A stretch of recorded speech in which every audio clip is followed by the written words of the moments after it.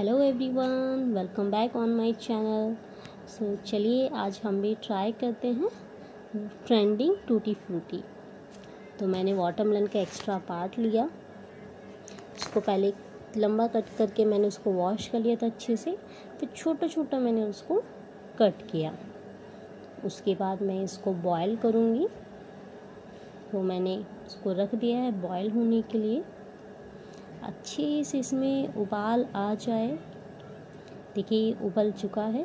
सो अभी मैं इसको चेक करूँगी कि अच्छे से बॉईल हुआ है या नहीं। मतलब थोड़ा गल जाना चाहिए कि हाँ हम खाएँ तो ईज़िली हम उसको चबा पाएँ। ठीक है, ये गल चुका है अच्छे से। अब मैंने पानी चेंज कर देना है और चीनी और पानी को उबाल लेना है। हल्का सा मिक्स करके फ़ूड कलर हम इसमें ऐड करेंगे। देन। फ़ूड कलर हम इसमें अच्छे से मिक्स कर देंगे। देखिए, उबाल भी आ रहा है। अच्छे से मिक्स करने के बाद हमारी जो टूटी फ्रूटी थी, जो बॉयल हो गई थी, अब उसको हम इसमें ऐड करेंगे। ऐड करने के बाद हम इसको मिक्स करेंगे। सारा पहले डाल लेते हैं। उसके बाद हम इसको मिक्स करेंगे। चलो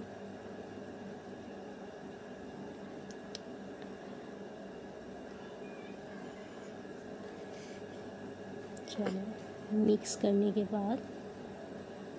अब इसको हमें तब तक पकने देना है जब तक इसका पूरा पानी सूख ना जाए। बस, और इसमें जितना भी कलर रहेगा ना, वो सारा इसके अंदर ऑब्ज़र्व हो जाएगा।